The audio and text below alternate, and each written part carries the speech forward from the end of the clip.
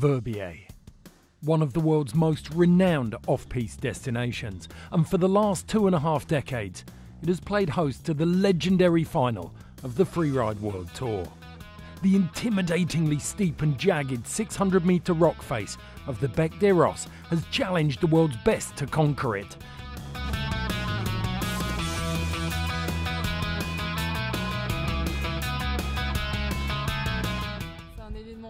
A unique event because there's no face like that. It's the biggest, burliest face in the world that you'll ever have a free ride comp on. Um, the whole atmosphere is pretty magical itself. Just like so nervous up being up there and it's wind and it's cold because you did that two hour hike, you've been stressed for the whole morning, probably didn't sleep the night before. Each year, it was always the same terror. I always have the same terror when I go there. One misstep during a run could be the difference between walking away or flying away in a helicopter, so it's not that fun.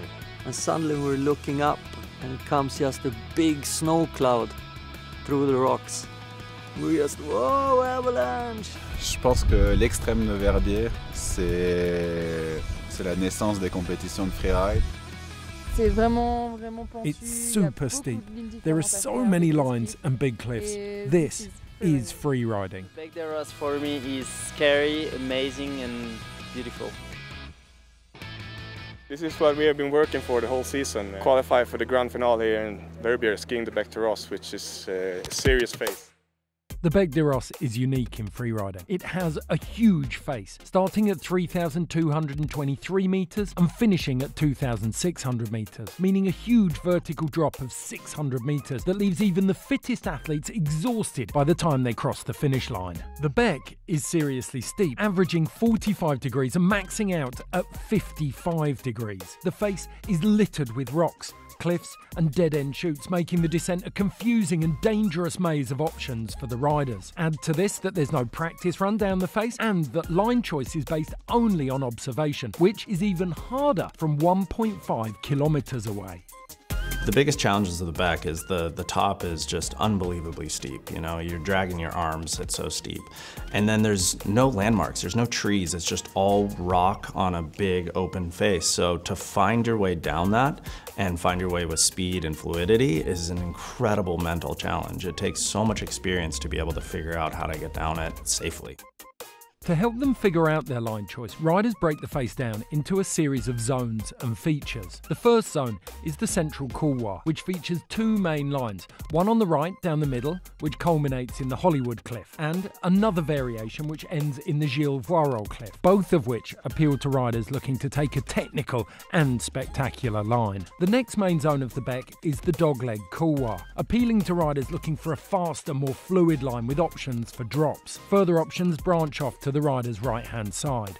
The third zone, the so called heart zone, demands plenty of concentration and focus. The face also has numerous cliffs, features, and entry points, all of which a rider can weave into their run and use to help navigate their way safely down the face.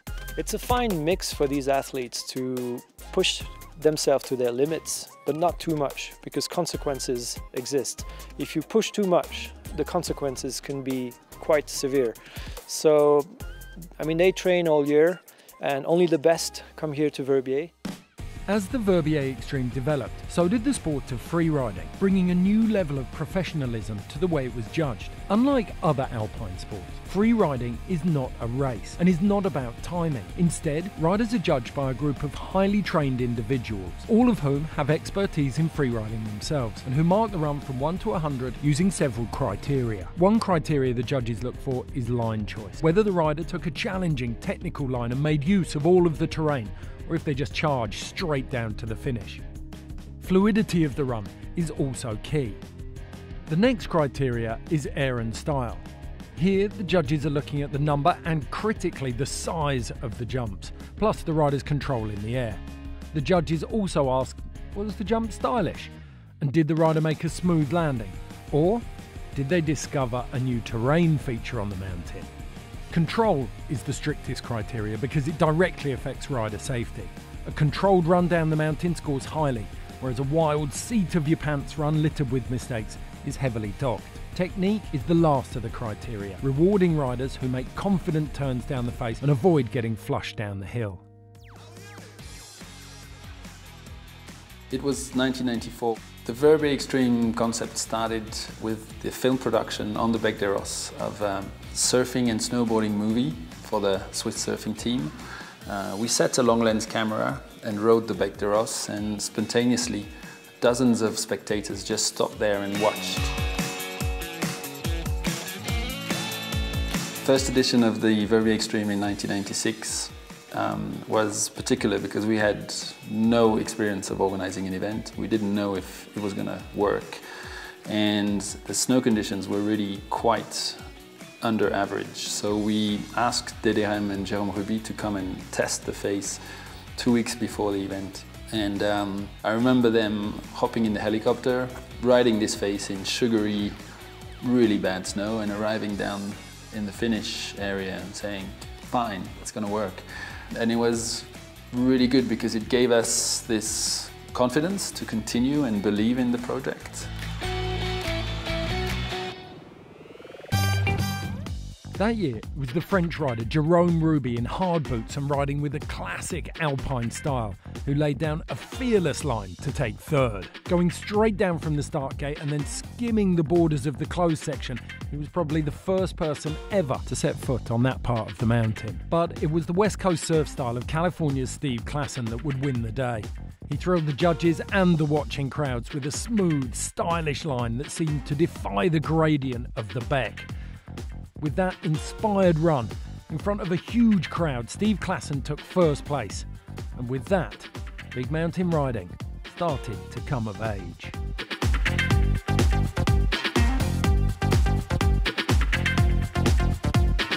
Yeah, Klassen's full legend. He's been doing this uh, since I was like, you know, four years old, riding down this mountain. Like one of the first guys to ride down it. Uh, holds the most wins on the back. I think it's five wins and he's ridden it numerous times. I don't know. The most psyched to ride this face out of anybody.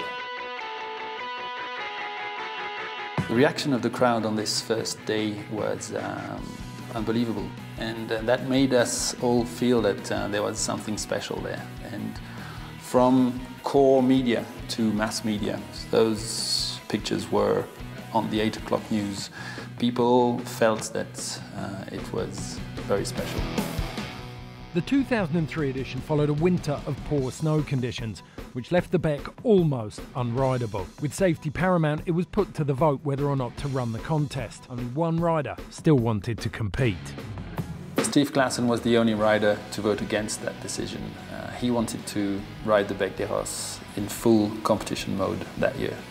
We didn't have the competition, the Bec was in terrible conditions, and he jumped the Hollywood Cliff across it took him like 100 meters to break. He actually didn't finish breaking. He had to point it to the next cliff.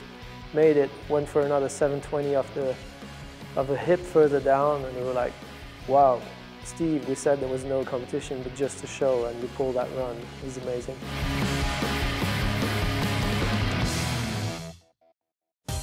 At this time, it wasn't just men riding the Bec. Right from the start, women had also been competing with riders like Julie Zell, Laurie Gibb, and Eva Sandahlgard dominating the first few events.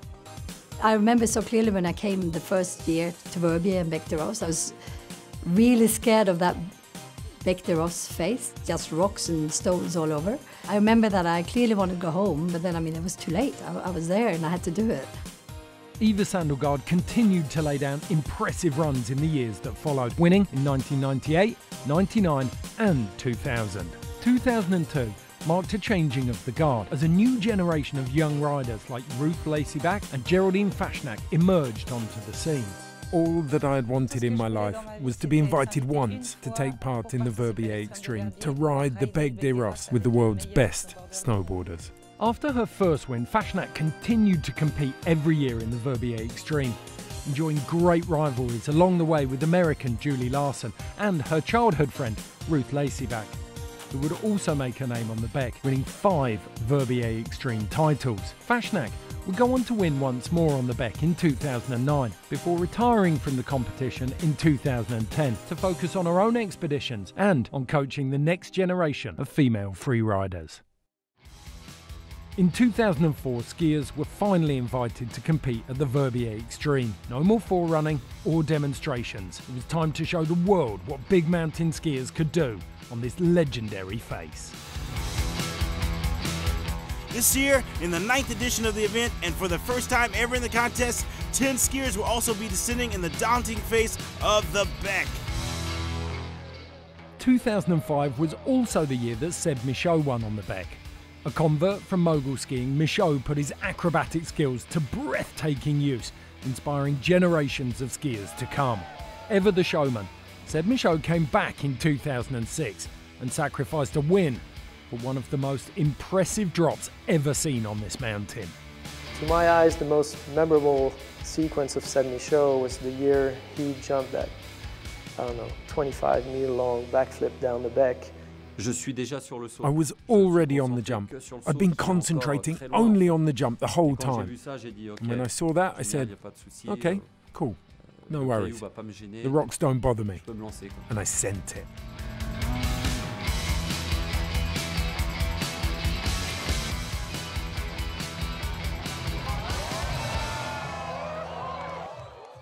2008 marked the start of the Freeride World Tour, with the Verbier Extreme becoming the final of this four stop tour. With the event now being beamed live to a global audience, there was even more pressure on the organisers to pick the perfect conditions to run the event.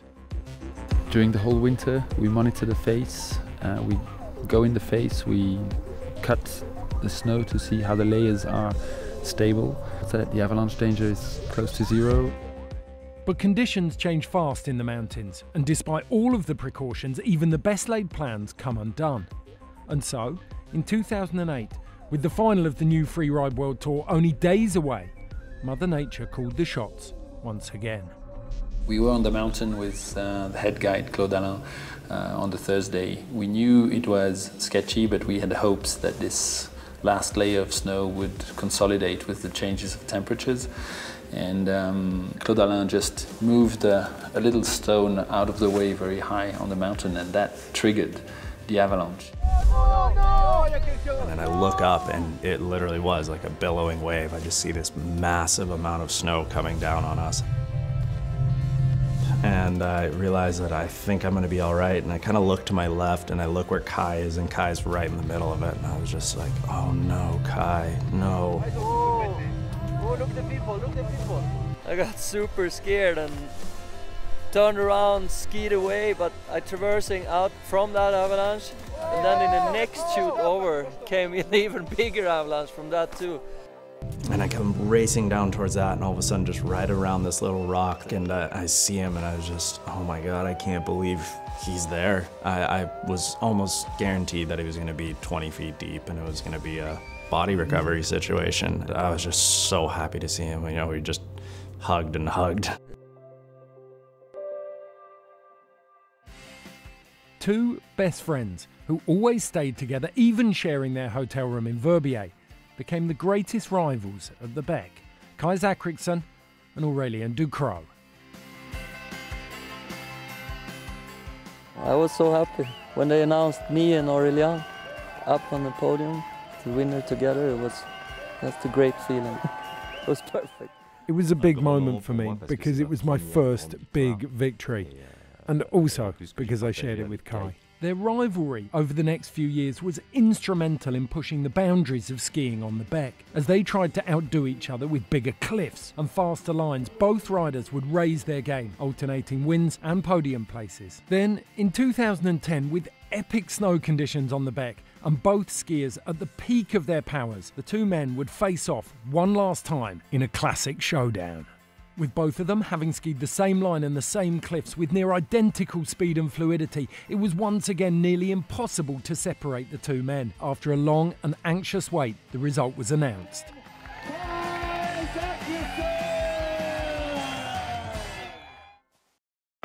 2010 was also a key year for progression in snowboarding, as French rider Xavier De Le Rue took a line at the Verbier Extreme that would redefine big mountain snowboarding on the Bec forever. According to the rules, De Le Rue had no obligation to complete after the final had been cancelled. As the tour leader, he would now automatically be crowned tour champion. It was deemed his call as to whether he wanted to gamble everything on a rerun of the event or take the title by default. I'd noticed this line whilst I was skiing with my daughter. I was skiing in front of the Bec when I looked at it from a different angle, and I said to myself, there's a new line there for sure. It would need to be good conditions, but I was really motivated to open up a new line on the Bec. Xavier could have said, that's it, we don't rerun, and he was world champion, but no, he said, I want to rerun, and he did that line and won the world tour. The growth of the Freeride World Tour saw a new qualifying series spring up, with the top riders each year graduating onto the main tour. This system would produce a new generation of freeriders that were highly skilled and highly competitive on the Bec. None more so than Sweden's Reine Barkered. Coming into the Freeride World Tour in 2009, I, uh, before that season, I was just super nervous. I go out of that start gate and get 10 meters fall, got hung upside down in a bush. First thought was, maybe the judges couldn't see that but realized I was still hanging there, so.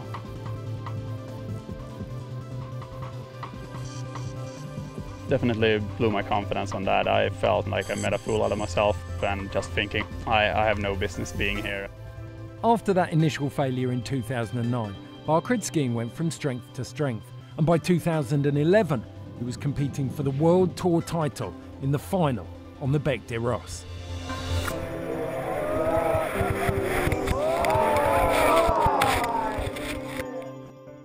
In 2012, Barkered came into the Verbier Extreme with only an outside chance of winning the Tour title. New Zealander Sam Smoothy, with several podiums under his belt, and the USA's Drew Tabke were both in much stronger positions to win. Opting once again for the dogleg couloir, Barkered dropped into the face and straight away sent it on a huge cliff before laying down a super fast, clean run to the bottom in a near perfect display of free riding.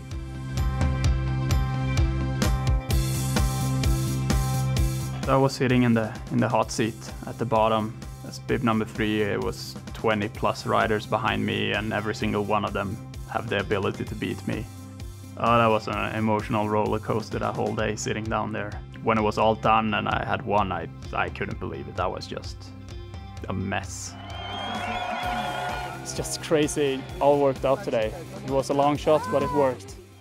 Reine Barkered made it, winning both the Extreme Verbier and the Freeride World Tour in 2012. And he did it again in 2017. It was Reine Barkered who threaded a stunningly fast line through some of the biggest features on the face with his renowned control and mastery of landings. And yet, despite this being his 12th year on tour, he's far from retiring. Instead, he's very much in contention for the win here in Verbier on its 25th anniversary. In 2017, another rider impressed on the Bec. It was Leo Slemett who stomped a huge 360 at the top of the run and showed an impressive line, which saw him claim second place in Verbier and secure the 2017 world title. Sadly, there is also a dark side of the sport. The Freeride World Tour community suffered two painful losses at the end of the 2016 winter. Estelle Balet and Matilda Rapaport tragically passed away while practicing their biggest passion. The two time world champion, Estelle Balet, always inspired her peers with her grace, style, and positive attitude. She died in an avalanche in the Valais region of Switzerland while shooting for a film.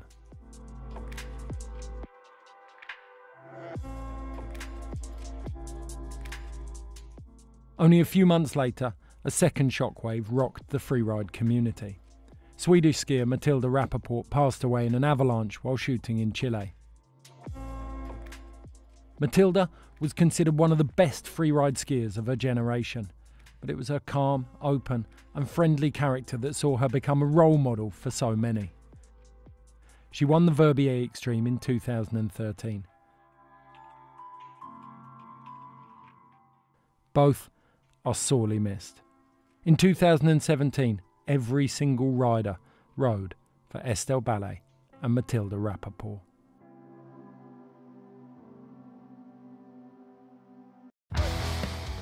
Sammy Luebke is another rider who's written his name into the Bec des Rosses history.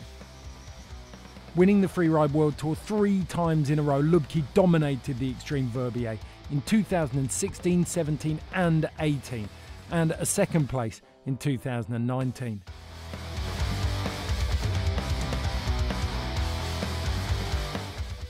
Using the Bec as his canvas, Luebke drew huge lines that saw him develop into one of the world's most well rounded and stylish freeriders. It's definitely everybody's dream to stand on top of the podium here in Verbier. It's the oldest extreme contest running, and it's where it all started. Winner in 2019 was American Jonathan Penfield, who set the category on fire with a dazzling show of big mountain snowboarding. He linked together a series of huge airs, including a backside three.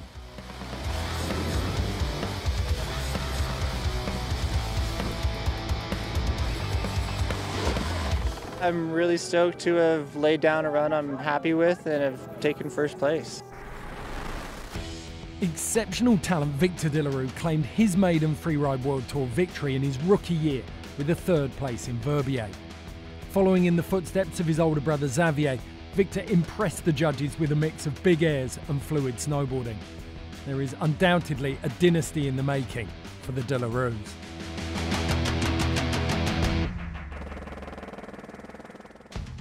With the 2019 Freeride World Tour title already secured, French snowboarder Marion Haerty came to Verbier hungry to take home the extreme crown. And she put down the run of her life.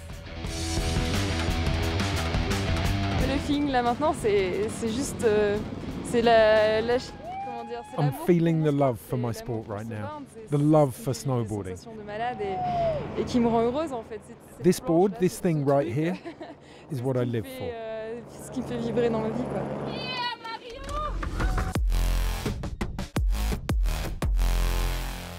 Arianna Tricomi entered the Extreme Verbier in 2016 with lots of crashes and a fifth place at the Bec.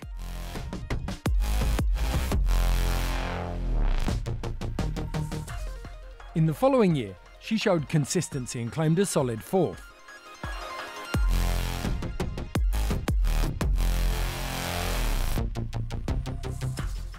In 2018, the Italian nailed her line for her first Extreme Verbier victory.